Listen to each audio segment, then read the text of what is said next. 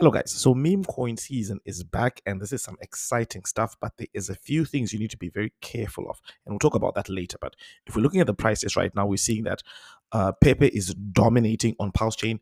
It has uh, it, it's ranked number one right now in terms of transactions, market cap, volume, and all that stuff on Dex Screener. The second one we see we have uh, Pulse Pulse X. This is the usual one. The third one is we see we see we have got uh, Shiba Inu uh, wrapped Pulse pair and then we've got wrapped Bitcoin, wrapped Bitcoin. Now this is uh, forked Bitcoin, uh, forked wrapped Bitcoin, and real wrapped Bitcoin as well. So, but we see a lot of meme action happening in the top ten of this, and this is the narrative of the biggest airdrop in crypto. Now, what is driving all of this? Now, what's driving all of this is Richard Heart uh, is tweeting about some of these coins, and not only that, he also created some farms that uh, allow anyone to earn passive income by providing liquidity for some of these players. So if we go onto the farms, what we can see is we see that we have um these are the new farms, right? The Pepe farm, the Pepe uh Pepe on Ethereum wrapped Bitcoin farm as well. So we've got these meme coin farms. And guys, if you do want to farm Pulse Shib, uh, we've got farms on ShibShift as well. You can check them out there.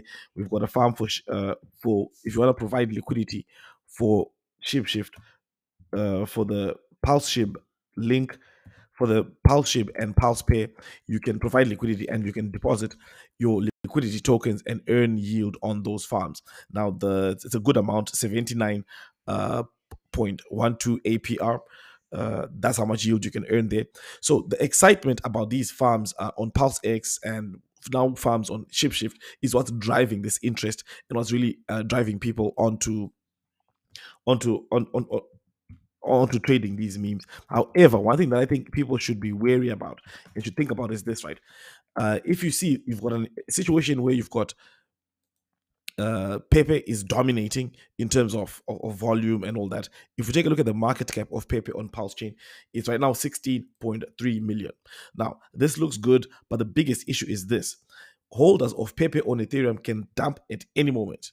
They are whales of Pepe. They can come and dump on Pulsicans at any minute. The majority of people buying this are Pulsicans. Those are the majority of people who want to speculate on what's happening uh, on uh, on with, with, these meme coins.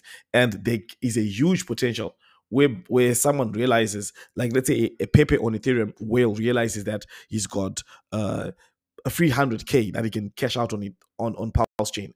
The question is, do you think are they going to hodl or are they going to come and dump, right? And are they long term believers? Another thing is this we know that coins go up, pump to the upside, and then they pull back. But some coins do never come back, and some coins come back. Now, what's the narrative that will drive these coins to come back the moment they have that incredible that, that, that, crazy dip? That's one thing that I think everyone should be thinking about. Now, if anyone wants a, a, a meme coin on Pulse Chain, I think the logical thing is to check out PulseShib. PulseShib is a Pulse Chain meme coin, and it there are no e PulseShib holders that can dump on you. It's a meme coin built for Pulse Chain, and all the holders right, are hardcore believers in Pulse Chain. If you go and look at the, the analysis, the chain analysis, you find that most of the ho- holders of Pulse Shib also hold Pulse X. Most of the holders of Pulse Shib also hold Pulse Chain tokens as well. So these are people that are most likely to have the best interest of the ecosystem at heart. These are not people that are likely to just dump for the sake of just getting a quick paycheck. Uh, they're people who are there for the long term, who want to real make, in terms of gains, everyone wants gains, but uh, they're definitely within the ecosystem for the long term. I think that those are the projects that make sense to hodl.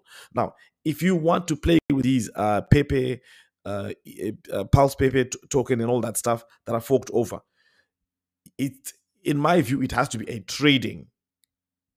That's it. You have to be trading, trying to uh, catch a bottom, catch a top. It cannot be a long term hold. But obviously this is not financial advice i'm sharing my opinion of what i think and how i think that these things will pan out i don't think that these coins will be sustainable in the long term and for the reasons that i've mentioned and I do think that they're going to be a great onboarding tool because if you look at what Richard Heart said as well, he says that uh, when people go in a shopping mall, they go for one thing, come back with more. So people can come to cash out their Pepe and then end up buying some Pulse, Pulse X. Uh, but I don't think you should be he also warned people that guys don't play in the casino, own the casino. In in in in, in other words, I think that means that uh, own the tokens. You want to own uh, Pulse X, own Pulse X, but don't be trading on Pulse X because you might get wrecked. Now, one of the other things that you need to look at is this, right? Because we have all this activity with meme coins on Pulse Chain, we're starting to see the buy and burn mechanism go absolutely insane. Now, here is the brilliance of what uh, of, of, what Richard Heart did. Um, Pulse X V1 was not paying liquidity providers. Instead, it was taking all the funds and sending all the funds to the buy and burn mechanism. And that caused a uh, so that's why we cre- uh, uh, he then created Pulse X V2. Now Pulse X V2 pays liquidity providers fees, but here is the kicker: the farms are only on Pulse X V1, so it forces liquidity providers to provide liquidity on Pulse X V1, and it also eh, create an environment where people are using V1, which has a massive buy and burn mechanism, instead of V2, which pays uh, liquidity providers. Now, if you look at this, right, this is Pulse X V1 has 247 million liquidity, total value locked. Then if you look at uh, V2, V2 has only 16 million, uh, 15 million total value locked, right? So majority of liquidity is still on V1, despite that liquidity providers don't earn anything. But uh, that's I think that's because that's the only way you can participate in farms.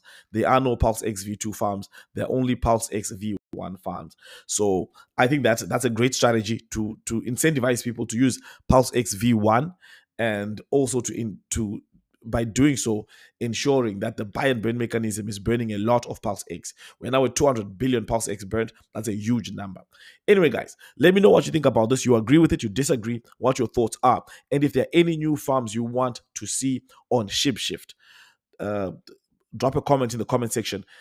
Tag the Pulse Shib Twitter account, which uh, pairs you want to see on ShibShift. If there are any new pairs you want to see. Anyway, guys, thank you guys for watching, and any to and to all the projects that are launching that do want to have a yield farming.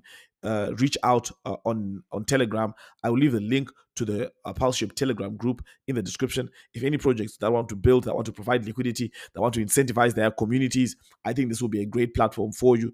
Because right now, I think that uh, I think re- on Pulse X, those opportunity might not be there for you to list your your your, uh, your token, but that opportunity might be there on ShibShift, which would be great for the ecosystem. Because as Richard Heart is is is, is pushing for the biggest airdrop ever in crypto, for people to be onboarded uh, through Pepe and all that stuff. Uh, ShibShift can be the platform that actually supports the Pulse Chain project that are, are building for Pulse Chain that don't have a home for yield farming. So if you uh, know anyone, any project that you think could benefit from this, reach out to them. Let them know that ShibShift is there. You, uh, you, uh, we can organize work on having more farms, some of the farms to incentivize your communities to come and build on Pulse Chain. Anyway, guys, thank you guys for watching. Let me know what you think in the comments below. Thank you for watching, and I'll see you again next time.